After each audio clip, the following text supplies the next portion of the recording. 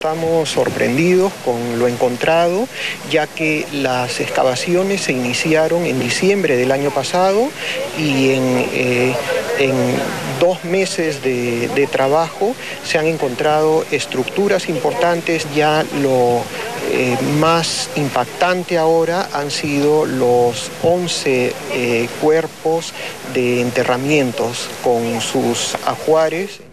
11 momias perfectamente conservadas hallaron los arqueólogos del Ministerio de Cultura dentro de un terreno que pertenece a la Villa Deportiva Nacional en San Luis. Tenía una serie de implementos de labranza, lo cual indicaba de alguna otra manera que debió cumplir a la agricultura, ¿no es cierto? Tres son los restos que vemos en posición horizontal. Ellos pertenecen a la cultura lima que data del año 200 al 700 después de Cristo. Los otros cuerpos son de la cultura Ishma de hace aproximadamente 10 siglos de antigüedad, donde la costumbre era enterrarlos en posición fetal.